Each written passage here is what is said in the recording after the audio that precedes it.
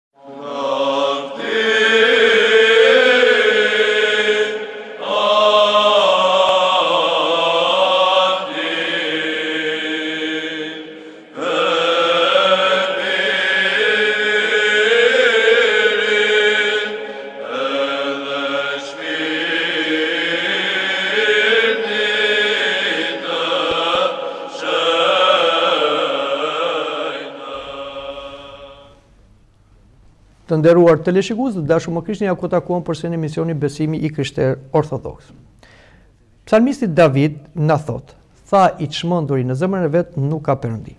Pra ata njerëz që thonë s'ka perëndi, ata nuk janë njerëz normal, pra nuk mendojnë normalisht. Por edhe ata njerëz që përpiqen këtyre me argumenta logjikë t'i tregojnë për ekzistencën e perëndisë, edhe ata bëjnë një punë të gabuar. Pra, të sjellurit e argumentave logjikë, ë, që i përkasin besës dhe fesë, është punë e kotë dhe pa frut te njerëzit të cilët janë të mbyllur hermetik dhe nuk duan të besojnë në Perëndinë.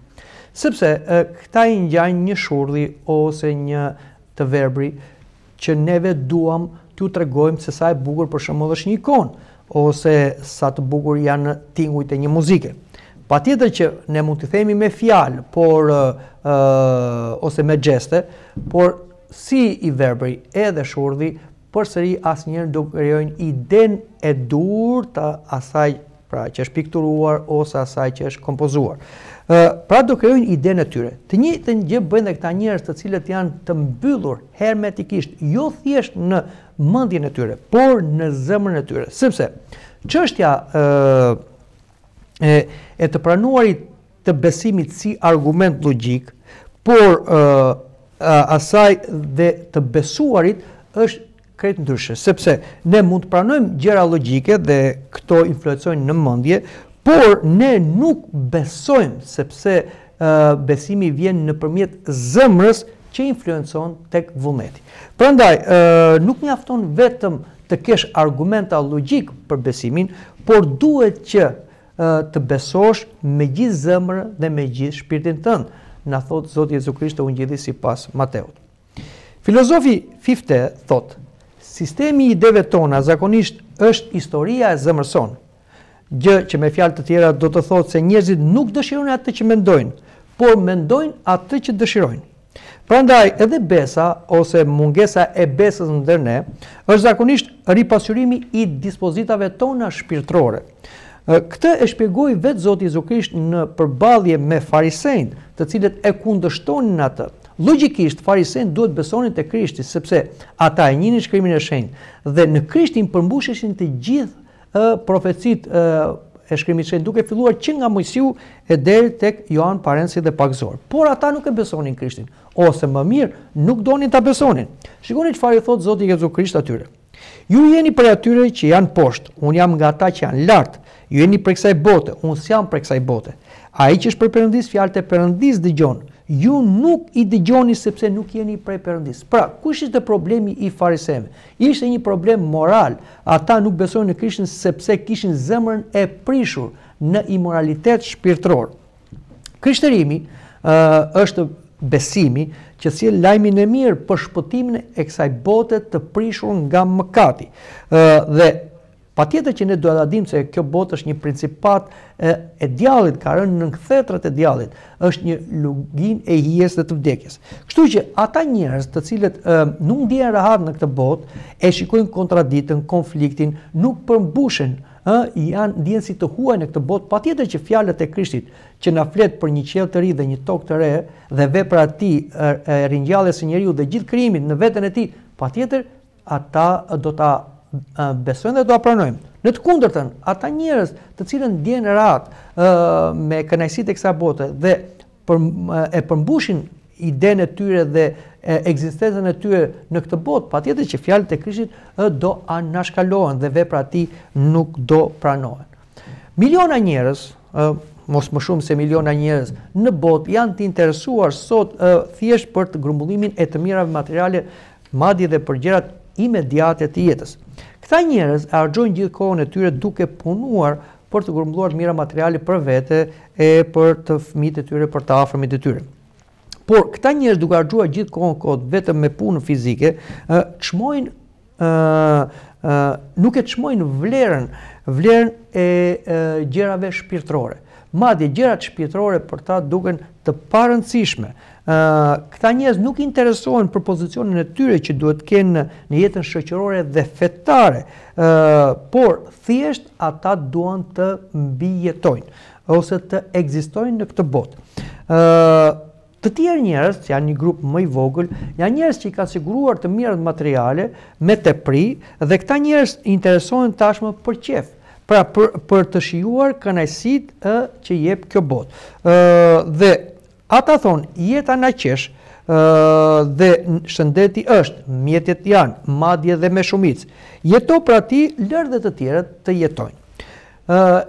Si kategoria e parë dhe kategoria e dytë, kuptohet që janë kategori njerëzish të cilët nuk interesohen Për besimin dhe moralin që na tregoi vetë Zoti Jezu Krisht. Aq më tepër, ata nuk interesohen për dimensionin e botës tjetër dhe për atë që ne presim. Presim për një jetë të re, pra ngjalljen e të vdekurve, por dhe krijimin e një qielli të ri, edhe një Toke të re. Sepse, jo thjesht mendja e tyre, por zemra e tyre është e mbyllur, është e mbyllur në në padije ose është e mbyllur në gjërat e e kësaj toke, e kësaj bote.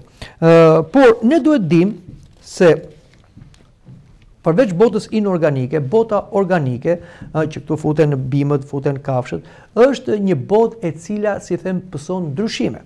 Ë, Shikoni se çfarë thotë filozofi i Greqisë së vjetër Herakli. Ai thotë, Trupat tanë, thotë ai, rrjedhin sikundër rrjedhin lumenjtë, lëndët e tyre vazhdimisht ripërtërihen si ujërat në lumë. Kështu lëviz dhe vetëdija jonë gjithashtu duke u ndryshuar. Pra, si bota organike, po dhe bota njerëzore ndryshon. Është vërtetuar për shembull se në qoftë se ne do bëjmë kujdes për një bimë, për një pemë, ë, dhe do ta kultivojmë, ajo do ndryshojë. Ajo do jetë një një bimë ose një pemë e butë, mund të themi, pra që do ketë një aromë më të mirë në lulet e saj ose fruta më të ëmbël. E, e kundërta ndodh kur e lë pas dore njeriu, ajo egërsohet. Ë ndryshon edhe lulja e saj, aroma e saj, po ndryshon edhe fruti i saj. Ose e ndryshimet që bëhen nga kujdesja njerëzore në lidhje me shpendët ose me kafshët.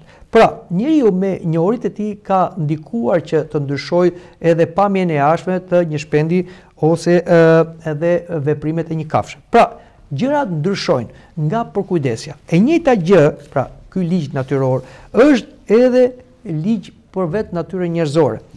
Njeriu, në qoftë se kujdeset për veten, pra ai arsimohet, edukohet, kulturohet, Patjetër që ai ndryshon, bëhet një qenie më më shoqërore, por në të kundërtën në qoftë se ai e lë pas dore edukatën, kulturën e tij, ai degjenerohet edhe prishet. Për shembull, në qoftë se një evropian i i kulturuar ë do të kishte një fatkeqësi, pra anija që ai udhëtonte do të mbytej dhe ai do të përfundonte në një ishull të vetmuar, Patjetër që do ndryshonte mënyra e tij e jetesës. Dhe ai dalngadalë do kthehej në njeri gjysmëkafshë, sepse vetë habitati ku do jetonte nuk do t'ia impononte atë edukatë, atë kulturë, atë lloj mënyre sjellje dhe kortezie, që kishte bërë ku jetonte në fillim, në qytet. Pra, kështu njeriu shtazohet nga veprimet e jashtme, dhe sepse ai i përshtatet ambientit. E njëjta gjë është kur njeriu nuk edukohet edhe mëndërisht. Pra, kur një njeri nuk përpiqet të studiojë, të lexojë, ë, ta ta ta vëjë në në në punë mendjen e tij, patjetër që mendja fillon dhe trashet dhe ai kthehet në njeri ë i mendërisht jo i aftë ose mund të themi në fjalën budalla. Një provë e tjetër është pro, është treguar edhe nëpër burgje, kur njerëzit futen në burgje dhe izolohen nga bota dhe bëjnë një jetë të izoluar dhe jo aktive mendore, Kur dalin nga burgu, ata janë të paaftë mendërisht. Nuk po themi që ata nuk mendojnë, por nuk mendojnë ashtu siç duhet, pra mendja e tyre nuk është vënë në punë dhe është e trashur. Pra, dalin pothuajse budallenj. Ky proces i prishjes, përveçse në në marrëdhënien e jashtme, por edhe në të menduarit, por ndryshon edhe në gjendjen morale. Pra, në qoftë se ne nuk kujdesemi për gjërat tona shpirtërore, pra nuk i vëmë re zërit të ndërgjegjes sonë, ë, patjetër që neve dalëngadalë do të bëhemi njerëz të ulët moralisht, do të humbasim çdo ndjenjë morale. Ë, me kohë ndjenjat tona morale, ë, parimet tona morale do të fillojnë dhe të zbehen. Dhe ai njeri që ka qenë i ngritur moralisht, në qoftë se ai nuk do bëjë kujdes, Dalëngadalë ai ë do të ndryshojë moralin e tij të brendshme dhe mund të paraqitet pastaj një kriminel i vërtetë, i cili shkel çdo parim moral ë dhe nuk ka as turp, nuk ka as ndrojtje, madje i justifikon veprimet e tilla. Prandaj ë duhet pasur kujdes ë sepse neve në qoftë se ne bëjmë kujdes për vetveten, sidomos për anën tonë morale, ajo prishet, shthuret. Shikoni çfarë thotë apostull Pavli në letrën e drejtuar Hebrenjve, Si do të shpëtojmë ne, po të mos kujdesemi për këtë shpëtim aq të madh që na është lajmëruar prej Zotit? Pra, si natyra lëndore dhe natyra shpirtërore Ka një ligj, ka një parim. Pra ajo ose zhvillohet ose atrofizohet, paralizohet dhe mund të zhduket fare. Ë prandaj duhet të bëjmë kujdes për këtë çështje, pra për anën tonë morale. Por si mund neve të të edukohemi moralisht? Patjetër, të edukohemi moralisht nuk mjafton thjesht të lexojmë libra për edukatën morale. Jo, neve duhet të hapim zemrën tonë. Të hapim zemrën tonë drejt mësimeve morale të Jisu Krishtit. Sepse ai është biri i Perëndisë, dhe Perëndia është një Zot moral dhe Ai u bë dhe bir njeriu dhe na foli për moralin e Perëndisë, i cili është standardi moral i qenies njerëzore, është përsosmëria e moralit. Ë dhe prandaj neve duhet ta hapim zemrën, ta pastrojmë zemrën që kështu pra me një zemër të pastër të shohim Perëndinë dhe të shohim ë atë jetën morale të Perëndisë që kjo të bëhet dhe jeta jonë, sepse Njeriu është krijuar sipas ikonës së Perëndisë, por ë ë do të thotë është një një qenie morale dhe arrin në ato standarde që kërkon Perëndia, pra bëhet i ngjashëm me Zotin, bëhet si Zoti. Prandaj dhe Zoti thotë në në lumurimet ë lum ata që kanë zemër të pastër. Pra çështja është ë bota ë shpirtërore, jo thjesht mendja. Bota jonë shpirtërore se zemra simbolizon shpirtin, ë ata do të shohin Perëndinë pra. Ë dhe Mungesa e kujdesit për zhvillimin moral shkakton verbëri morale, madje dhe humbjen e ndjenjës për të mirën, për të lartën dhe për të shenjtën. Shikoni çfarë thotë Zoti Jezu Krisht përsëri tek izraelitët, ku ai erdhi, ë vetë Zoti i bërë njeri, të cilët izraelitët e prisnin, prisnin ardhjen e Mesias. ë dhe sipas profecive kur të vijë Mesia, ata thoshin do na mësojë vetë Perëndia. Por ata nuk e dëgjuan Krishtin, i cili fliste për gjëra kaq të larta, të padëgjuar ndonjëherë. Shikoni çfarë i thotë Krishti atyre. Ë, edhe mbushet tek ata, thotë, profecia e Isaisë që thotë, me të dëgjuar nuk do të dëgjoni. Po ë, me të dëgjuar do të dëgjoni, por nuk do të merrni vesh. Edhe duke parë do të shihni po nuk do të kuptoni, sepse u trash zemra e këtij populli dhe dëgjuan rëndë me veshët e tyre dhe u mbyllën sytë e tyre, se mos ndonjëherë shohin me sytë e dëgjojnë me vesh e kuptojnë me zemër dhe kthehen e i shëron ata. Kjo ishte një profeci e Isaias shtatëqind vjet përpara Krishtit, po gjeti përmbushje të plotë kur Krishti erdhi midis popullit të tij pra të Izraelit. Dhe ne dimë që ai popull e refuzoi Mesian, e refuzoi Krishtin madje e çuan edhe në kryq. Prandaj duhet të kemi kujdes sepse në qoftë se ne nuk kujd, nuk bëjmë përpjekje të rritemi moralisht, atëherë edhe ai moral që kemi marrë, pra nga besimi i krishterë dhe nga hiri i Perëndisë, i Shpirtit Shenjtë që erdhi tek ne në ditën e pagëzimit dhe të mirosjes, edhe ai do të merret. Shikoni çfarë thotë përsëri Zoti Krisht te Ungjilli sipas Mateut, sepse kujtdo që ka do t'i jepet dhe do t'i teprojë dhe ku ku dhe kujtdo që s'ka, edhe atë që do të ketë do t'i merret. Prandaj duhet të bëjmë kujdes të dashur më Krishtin sepse ne jemi vetë përgjegjës për jetën tonë, për standardin e jetës sonë. Shikoni çfarë thoshte përsëri filozofi i lashtë i Greqisë Epiktit. Ëh thoshte Nëse ne jemi njerëz të mjerë fajin e kemi vet. Perëndia është sjellë me ne si me një atë të mirë, me mëshirë dhe me përdëllim na dha çdo gjë që na shpie në mirëqënie. Dhe nëse me gjithë këtë na duket se jeta jonë është e gabuar dhe na mundon si një udhë e shtruar pa qëllim, dhe si një gosti për një të kremte të huaj, Kjo rrjedh ngaqë ne nuk dimë ta përdorim atë siç duhet.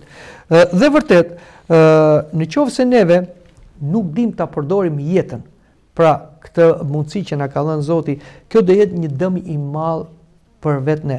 Dhe mund të themi se jeta jonë pastaj do bëhet një angari. Ajo do të humbi qëllimin e saj dhe neve do të kthehemi pastaj në qenie pa kuptim. Madje do urrejmë vetë jetën. Shikoni çfarë thoshte një poet pesimist.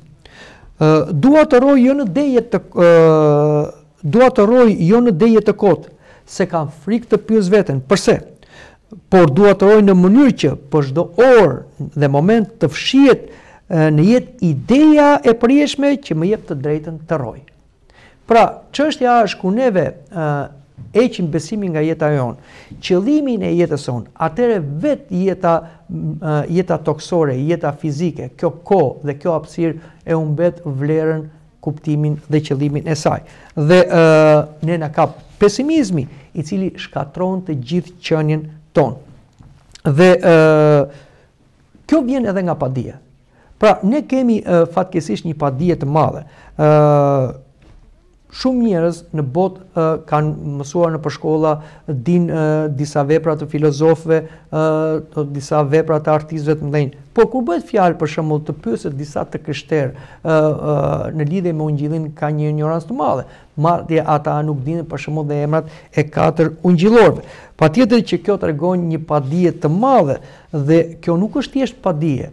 Kjo është një e keqe e madhe morale që i bëjmë veten tonë, sepse kur ne lexojmë Shkrimin e Shenjtë, kur ne lexojmë Ungjillin, nuk lexojmë thjesht një libër historik, ë, për disa ngjarje që kanë ndodhur, që edhe në qoftë se nuk i dimë, nuk Është në një problem të madh. Çështja është se kur ne lexojmë ungjillin, lexojmë fjalën e Zotit, i cili është është njësoj në çdo kohë. Si thotë, qielli dhe toka do kalojnë, por fjalët e mia jo. Dhe në qoftë se ne nuk lexojmë ungjillin, ne nuk dim parimet morale dhe kështu ne jemi si të verbër që ecim në rrugë ë pa krye, por si të verbër që udhëheqim të verbrit. Prandaj duhet patjetër që neve ë të jemi familjar me ungjillin dhe Leximi i përditshëm i ungjillit na ngre ne moralisht dhe jo vetëm na ngre ne moralisht, por ndihmon që nëpërmjet nesh të ngrihen edhe të tjerët. Ë dhe shikoni se njerëzit në përgjithësi, dhe këtu flas për të krishterët, ë kanë një ide ë të vetëmjaftueshme për veten. Ata kanë një standard moral që i përshtaten vetes tyre dhe kjo vjen nga padija.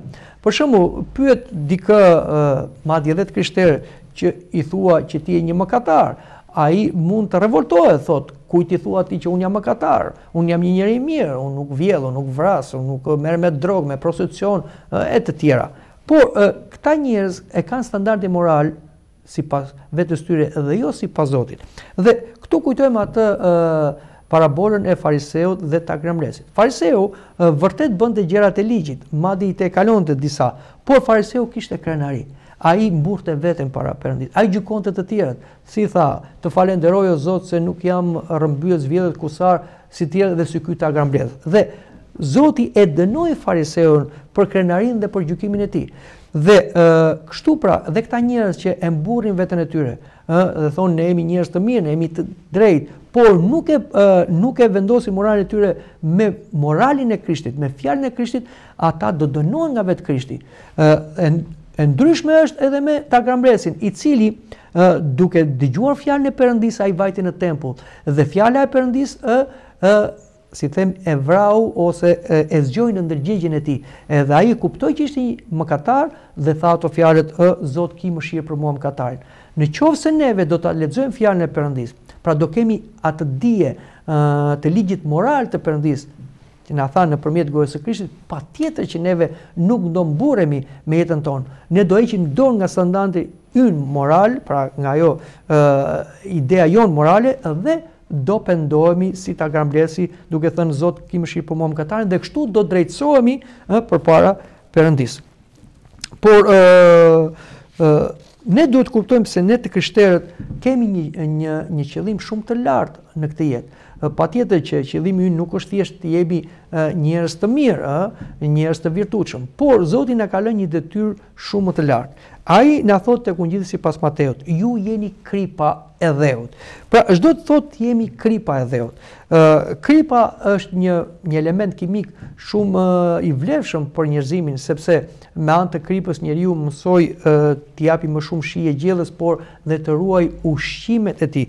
Ë dhe ë kripa ka qenë shumë e vlefshme më përpara, por dhe sot kripa nuk e ka humbur atë vlefshmërinë e vet. Sado një një gjellë të mirë mund të bëjë njeriu, në qoftë se ajo nuk ka kripë, ajo nuk hahet. Kështu është dhe jeta njerëzore. Në qoftë se jeta e njerëzve nuk do të ketë moralin e krishterë dhe shoqëria njerëzore nuk do ketë brenda të krishterë, sado e organizuar të jetë ajo, ajo përsëri nuk do të ketë shije dhe ajo do prishet, do dekompozohet. Prandaj ne të krishterët kemi kemi një detyrë shumë të lartë Ne duhet të jetojmë me standardin moral të Krishtit dhe këtë standard moral të Krishtit me anë të jetës dhe me anë të veprave tona dhe fjalëve tona ne duhet t'ia themi njerëzve, ta injektojmë brenda shoqërisë njerëzore, që shoqëria njerëzore të marrë kuptim, të marrë qëllim, edhe të ruhet nga prishja dhe njerëzit të të, të ndryshohen.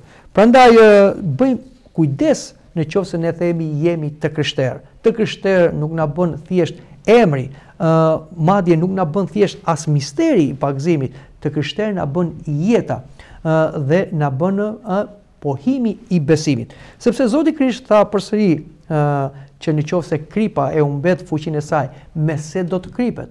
Atëherë njerëzit thotë do ta hedhin jashtë, do ta shkelin me këmbë. Pra, në qoftë se ne si të krishterë e humbim standardin tonë moral si të krishterë, Atëherë, çfarë kuptimi ka të qenit me emër i krishterë, ose kremtimi i festave të krishtera? S'ka asnjë kuptim. Madje, njerëzit do të skandalisen, sepse ne të tjera themi, të tjera bëjmë. Kështu që ne do ta humbim vlerën tonë morale si të krishterë dhe do t'i bëjmë një dëm shumë të madh, jo vetëm vetes tonë, ë, sepse do të largohemi nga parimet e Krishtit, ë, dhe Zoti thotë, Nuk ju njoh, largohuni prej meje, se nuk keni bërë atë që ju kam thënë unë, Nuk keni bërë porositë e Atit tim, por neve do ndikojmë edhe në prishjen morale të botës dhe kjo është një përgjegjësi shumë e madhe përpara Zotit. Prandaj të dashur më Krishtin, të qenit tonë si i krishterë në botë ka një përgjegjësi shumë të madhe dhe është detyra jonë që gjithnjë e më shumë të rritim standardin tonë moral. Pra, dhe kjo bëhet duke pasur një marrëdhënie gjithnjë e më të ngushtë me personin e Zotit Jezu Krisht nëpërmjet lutjes, nëpërmjet studimit të Shkrimit të Shenjtë, nëpërmjet marrjes së mistereve të Kishës dhe në mënyrë të veçantë të kungatës hyjnore. Dhe jo thjesht për të pasur një marrëdhënie personale vetëm me Krishtin, por këtë marrëdhënie personale tonë me Krishtin ne ta përhapim në marrëdhënie shoqërore, si në radhë të parë si brenda komunitetit tonë të krishterë, por edhe ndaj gjithë shoqërisë njerëzore, ë, sepse ne jemi kripa e botës, ne jemi, ë, të krijuar nga Perëndia në ikonën e Perëndisë, të ngjashëm me Krishtin, për t'i dhënë shije, ë, ë, morale njerëzimit dhe për ta ruajtur botën nga degjenerimi moral.